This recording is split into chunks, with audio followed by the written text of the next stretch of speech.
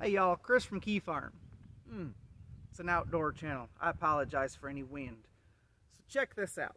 It occurred to me that I have never done a video about my Heritage Rough Rider pistols and I own several of them. So first thing we're going to do is we're going to talk about their price point because that's the major sticking point for a lot of people why they've gotten so popular and the same reason why some people won't own one like my buddy Dawson, he won't have a cheap gun on the place. it's a different story. All right. Um, I'm going to talk about how customizable they are because they've started doing something pretty cool with these guns. And then we're going to shoot some of them. Like I said, I have several of them, different sizes. I'll shoot some of them. And then we will compare them to a Ruger Wrangler. I got one of those here. And I have an old Colt Frontier Scout, basically these are built just like the old Colt. I don't know if the Colt was the first one to have that design, but these, you can look at them and all of the screws are in the same spot. The only thing Heritage did is add a safety. And anyway, so first, what I like about these guns. Right, a lot of times these guns are a $100. Sometimes they're a $100, but you have to buy another gun to buy this one for $100, which is good enough. I've gotten a couple of them that way. Um, sometimes they'd run a deal with just the gun for $100. That's kind of rare, um, but, you know, not impossible to find. But this very pistol right here, I think this one's got the 6-inch barrel, maybe 6.5. Um, we got a local store here in Madison, Alabama that you can buy this gun almost every day for $119. So it is a cheap gun and they are somewhat cheaply produced. Um, I have read where some people will take this gun apart and they'll polish all the parts that need polished and they'll take the rough edges off where they need took rough edges off and they'll make a better gun out of it. Me personally, I have several of them and I have never done that to any of them and they shoot every shell I put in them every single time. But we'll get to that in a minute. Secondly, so it's a cheap gun that anybody that wants uh, a 22 to plink with, by the way, 22, my favorite caliber, and nowadays about the only caliber that your regular old working class person can afford to shoot regularly. So, um, the 22, I absolutely love it. Thirdly, a lot of these come with plastic grips. I have replaced all my plastic grips with different kinds of wood grips. A set of grips for these is somewhere between 20 and $35 depending on what you get. Um, but something they've started doing pretty more recently. First of all, okay, this part's not recent, but you can order a Magnum cylinder for any of these guns, which is pretty cool. Now this nine shot, let me put it away nine shot for that money for $200 came with both cylinders. But this one did not come with both cylinders, but for I think $29.99 you can get on the Heritage website and order a Magnum cylinder. So you got a cylinder for your Magnums and a cylinder for your regular long, long rifles and shorts, which is pretty cool because, see, I have a North American Arms pistol.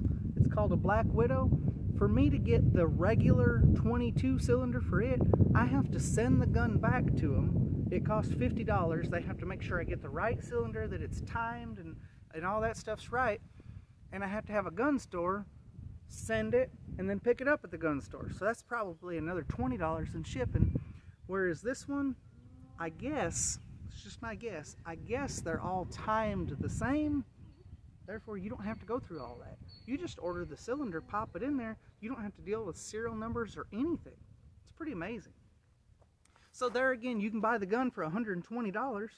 You can add a Magnum cylinder along the way down the road somewhere whenever you want. And then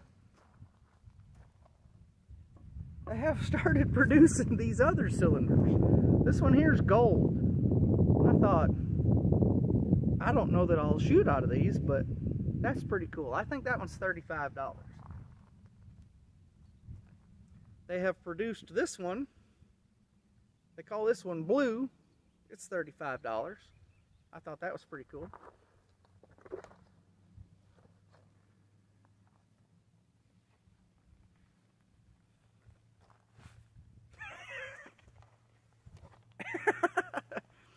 And they have this one that they call Prism, which is also $35.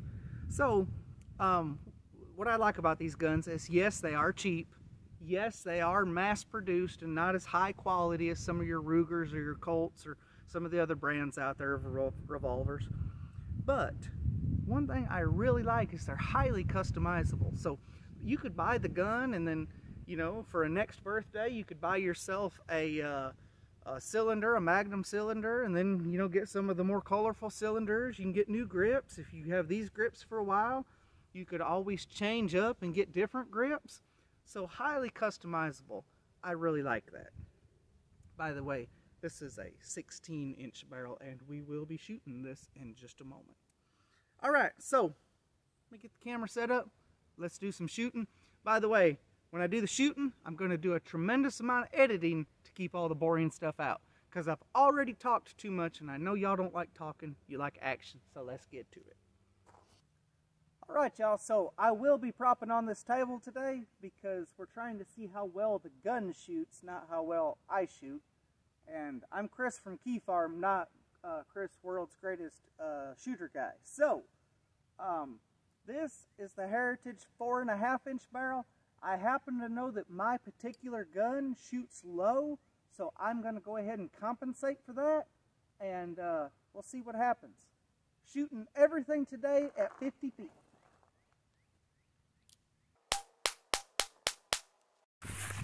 All right, y'all, here's my first six shots. By the way, that one was already there in the red. So, um, full disclosure, since I want you to know about these guns, I was aiming up here at the top of the page, which is five inches high, just at 50 feet. Now, if I wanted to correct that, I could correct that, but I haven't took time to. So there's my first shot, second, third, fourth, fifth, and sixth over here on the edge of the page. So really, it's not a bad group for a four and a half inch barrel, but if, had I been shooting at the dot, I would have been shooting in the dirt.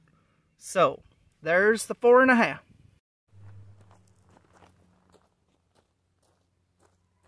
All right, up next is the Rough Rider 22 six, six and a half inch barrel.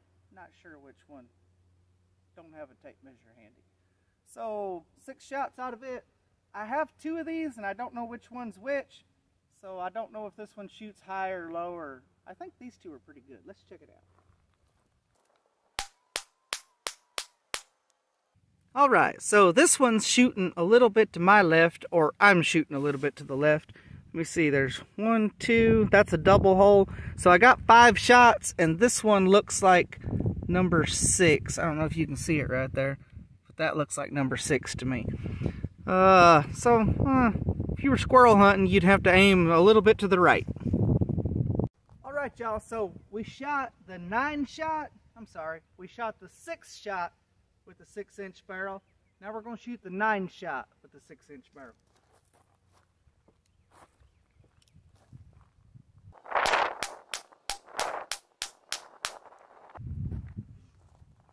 Let's go take a look. All right, one, two, three, four, five, six, seven on the page. And I see some over here that look a little bit suspect, that are real close. So, huh, I ain't hit the dot yet. I'm a little, I'm a little disappointed. All right, y'all. This one's got a little bit different sights on it and this one shoots low, so I'll be shooting at the top of the target.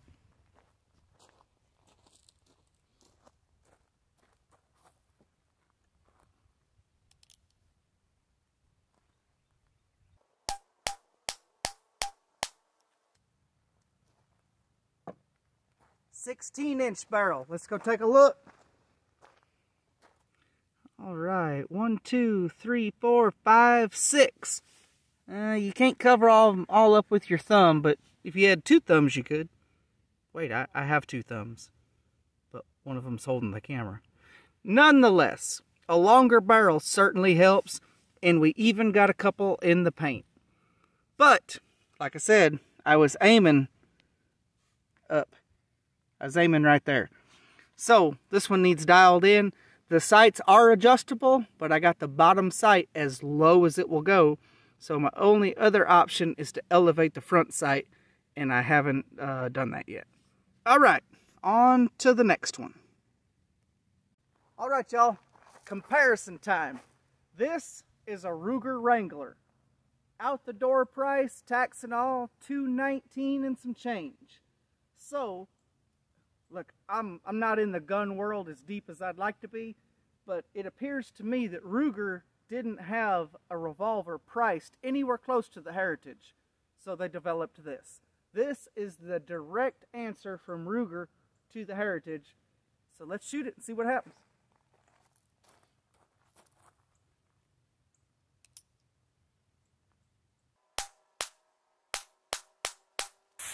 Alright y'all, as much as I'd like to blame this on Ruger, I think this falls squarely at the feet of yours truly.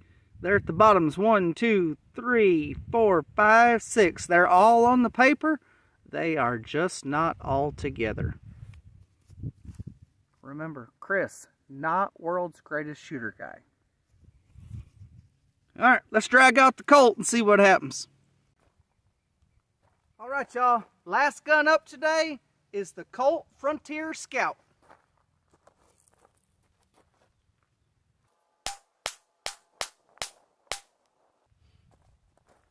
Let's have a look. All right, y'all. Got one in the paint. Got one off to the left. Got three grouped together really well. And got one at the bottom. Should I reiterate one more time?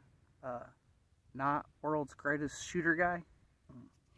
But if we look through at some of these other papers, you know, some of them are real similar. All right, y'all, so wrapping up. Right there is the 16 inch barrel uh, Heritage that we shot. That one there's a six and a half. Well, no, I think it's just a six. I believe that one's a four and a half. There's the nine shot six. There is the Ruger Wrangler. I believe that's a four inch barrel. And there's the Colt. Uh, four, probably the four inch barrel. We did leave that one out because it's identical to that one. So, if you look at the cards down there, they're all very similar. You can't point to any certain one and say, well, this one's a whole lot better than that one. Because face it, it was all me shooting and for the third time in this video, I'm going to mention that I'm Chris from Key Farm, not Chris, world's greatest shooter guy. So, look, if you're just out plinking cans with the family, or maybe you got to take care of a varmint every now and then. I used to have chickens at the barn, and, you know, other wild animals would try to make my chickens their meal. And we kind of had to handle that situation. So, look, a Heritage is great for a little knockaround gun. Uh, the reason I have so many, so when the family comes to shoot, everybody's got their own gun, and you know we can set cans up out there, and you know plink all day long on 22 shells. Um, it's really the only shell now that you can still buy reasonably and can afford to shoot a lot of them all day long. So I don't know if we really learned anything from this video other than 22s are real fun to shoot and in my opinion, you can get a decent one for a little over a hundred dollars. And then look, you can jazz it up later with different cylinders and grips, and you can really get you a nice collection. I got a friend that's got a uh, 1911 that costs more than every one of these guns put together.